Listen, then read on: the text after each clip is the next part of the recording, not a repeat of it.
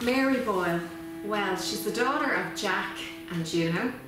Her brother is Johnny. She's older. She is in the twenties. She's living in a tenement house in Dublin. She has a sweetheart who she knows from growing up, um, and she meets an interesting man that she's attracted to. Mary's relationship with Juno. Mary is waited on hand and foot by her mother. Her brother is frail um, has been injured, and her dad, her dad is there.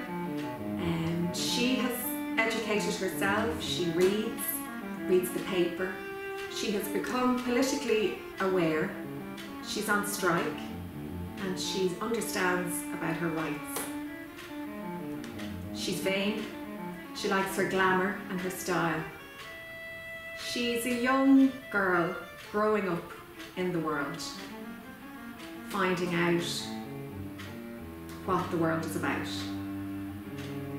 Her world is turned upside down, and she really grows up.